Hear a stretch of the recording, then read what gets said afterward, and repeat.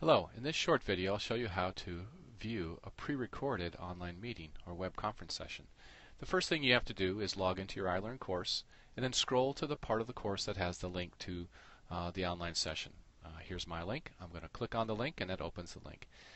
Now this uh, uh, meeting also is, is a live meeting so I could actually join a, a live session if it was uh, happening now or I could look at any of these recordings.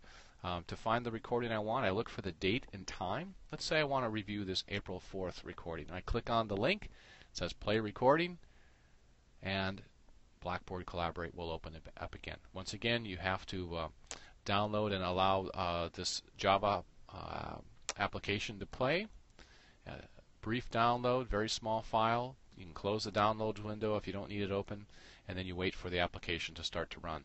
Uh, it will ask you uh, to for access to your computer because it's going to run the live application whether or not it's a live session. The recorded application is fully functional.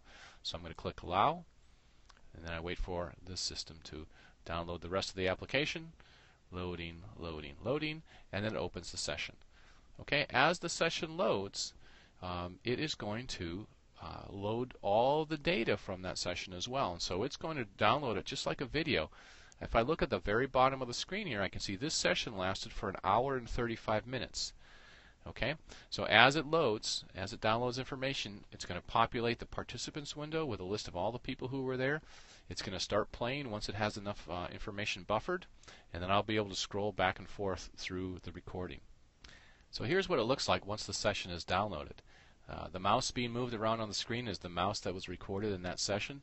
You can see that there are uh, you may be able to hear that uh, recording coming from the computer, but it's going to play all the audio. It's going to show all the video. Um, you can see the session that's within the window here. That was being shared by the whole screen. And then on the bottom now I have a timeline that I can scroll back and forth through. So I can scroll forward, I can scroll backwards. When I, whenever I do scroll, it's going to take a few seconds for uh, the application to catch up. And if I scroll all the way to the end, well, then the application is going to have to download all that data, so it might take uh, 10 or 15 minutes for it to catch up. Uh, once I have it all downloaded, I should be able to scroll backwards and not have to wait quite so long. Uh, that's about it. Uh, the recorded session is a great feature in the online meeting tool we have. Um, I hope it's very valuable to you as well.